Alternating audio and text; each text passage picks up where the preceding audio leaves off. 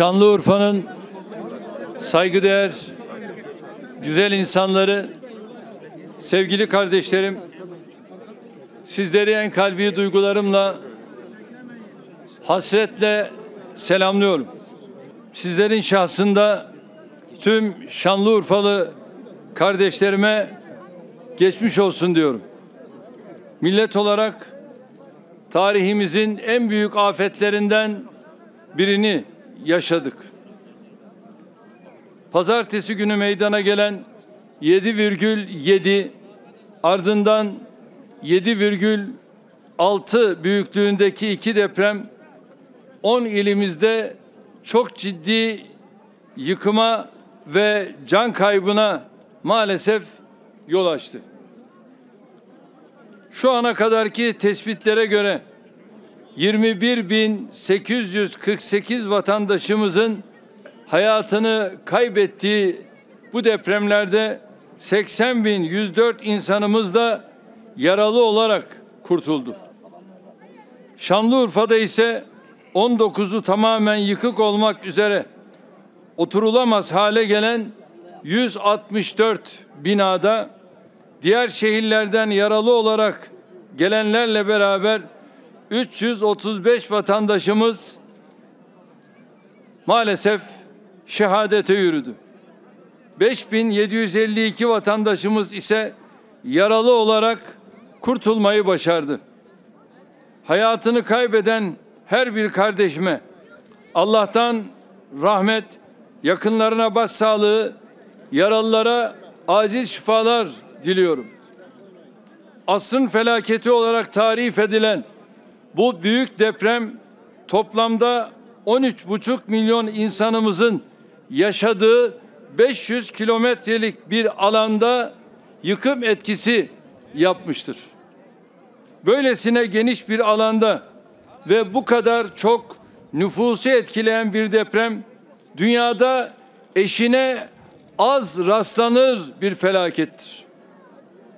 Dünyanın önde gelen deprem uzmanlarını dahi dehşete düşüren bu felaketin derin izlerini yıkım yaşayan illerimizde tüm çıplaklığıyla görmek mümkündür.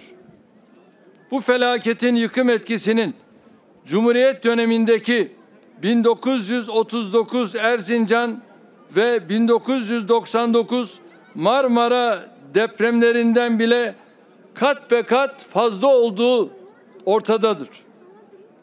Deprem anından itibaren devletimizi tüm kurumlarıyla, personeliyle, araç gereciyle harekete geçirdik.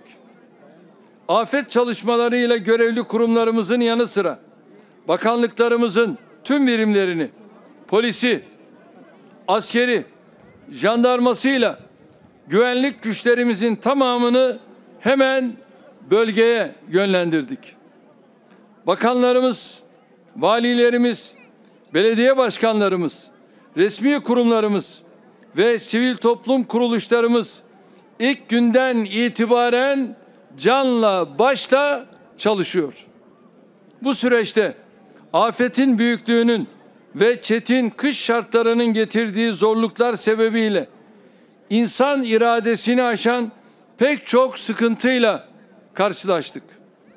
Ancak hiçbir engelin bizi vatandaşımızın yardımına koşmaktan alıkoymasına izin vermedik. Elbette kimi alanlarda bazı gecikmeler, aksaklıklar yaşanmıştır.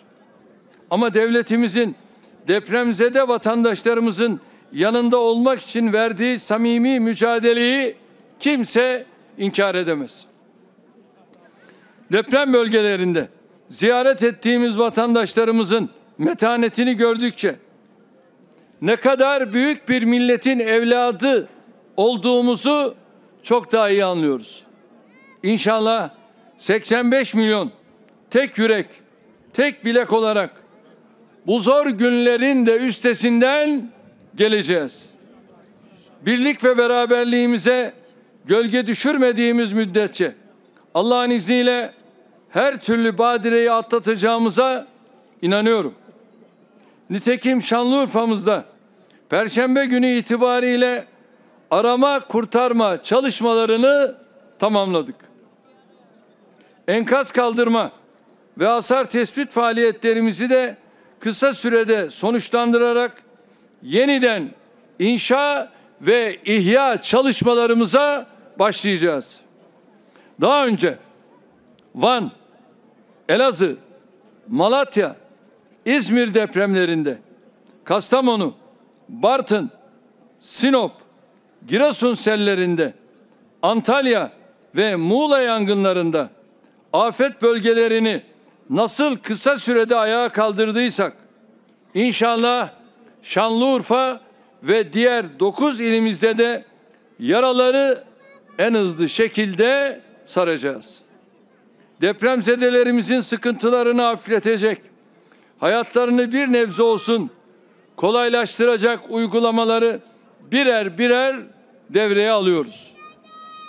Depremde evleri yıkılan ve oturulamaz hale gelen vatandaşlarımızın barınma ihtiyaçlarını ya kendi şehirlerinde ya da diğer vilayetlerimizde gideriyoruz. Bu amaçla ülkemizin dört bir yanındaki otellerimizde, yurtlarımızda, kamu misafirhanelerimizde yerler tahsis ettik. Halihazırda sadece Milli Eğitim Bakanlığımıza bağlı okullarımızda, yurtlarımızda, uygulama otellerinde ve öğretmen evlerinde 460 bin vatandaşımız barınıyor. Geçici barınma merkezlerinde 1 milyon 100 bin kişi var. Ev sahibi ve kiracıların tamamını kapsayacak şekilde 5 bin lira ile 2 bin lira arasında değişen kira destek programı oluşturduk. Evleri yıkılan veya oturulamayacak hale gelen vatandaşlarımızın acil ihtiyaçları ve taşınmaları için hane başına 15'er bin lira ödemede bulunacağız. Depremzedelerimizin barınma sorunlarını hızla çözmelerine yardımcı olacak her türlü tedbiri alıyoruz. En zor günlerinde insanımızı aç açıkta bırakmamak, çaresiz ve sahipsiz hissettirmemek adına gereken neyse hepsini de yapıyoruz ve yapacağız. Bazı şehirlerimizi yeni baştan inşa edecek. Bazılarının yerinde ihyasının yollarını arayacağız. Yüz binlerce konutun altyapısı ve üst yapısıyla inşası anlamına gelen bu süreci kısa sürede tamamlayacağımıza inanıyoruz. Ben sizlerden bir yıl süre istiyorum. Allah'ın izniyle bir yıl içinde bu inşaatları inşasını yapacağız, ihyasını da gerçekleştireceğiz. Bunu da tarihimizin her döneminde olduğu gibi yine dayanışma içinde, birlik ve beraberlik içinde hareket ederek gerçekleştireceğiz. Olağanüstü hal, afet bölgesi ve mücbir sebep uygulamasıyla bölgenin ve vatandaşlarımızın her türlü ihtiyacını karşılayacak mekanizmaları kurduk. Bu çerçevede Milli Eğitim Bakanlığımıza bağlı tüm okullardaki eğitime ara verme süresini 20 Şubat'a kadar uzattık. Depremden etkilenen 10 ilimizdeki okulların tüm sınıflarındaki ve kademelerindeki öğrencilerimiz için ikinci dönem devam şartı aranmayacak. Ailelerden çocuklarını diğer illerdeki okullara nakletmek isteyenlere her türlü kolaylık gösterilecek. Çalışanlarımızdan esnafımıza kadar her kesim için benzer tedbirleri hayata geçiriyoruz. Yıkıntıların altından çıkartılan ve ailelerine ulaşılamayan çocuklarımızın tedavisi ve koruma altına alınması çalışmalarını hassasiyetle yürütüyoruz. Diğer şehirlerimizdeki hastanelerimize uçakla, helikopterle, gemiyle, ambulansla nakledilen yaralı depremzedelerin tedavileri özenle yapılıyor. Güvenlik güçlerimize, evlere ve iş yerlerine dadanan yağmacılara, Ticaret Bakanlığımıza temel ihtiyaç maddelerinin fiyatlarını artıran fırsatçılara asla göz açtırmamaları talimatını verdik. Aynı şekilde özellikle sosyal medya üzerinden yalan ve asılsız haberler yaymak suretiyle milletimizi kışkırtan kaos tüccarlarına karşı müsamahasız davranıyoruz. Akrebin kıskacında yoğrularak bugünlere gelmiş bir millet olarak tarih boyunca aşılmaz denilen nice engeli nasıl aştıysak inşallah bu imtihandan da alnımızın akıyla çıkacağız. Kayıplarımızın acısı yüreklerimizi yakıyor.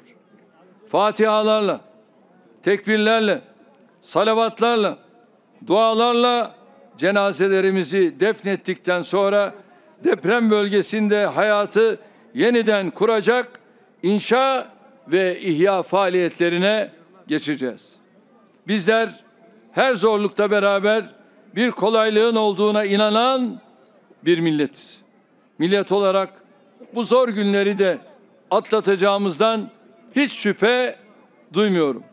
Rabbim yar ve yardımcımız olsun diyor. Sizleri selam ve sevgiyle tekrar tekrar selamlıyorum.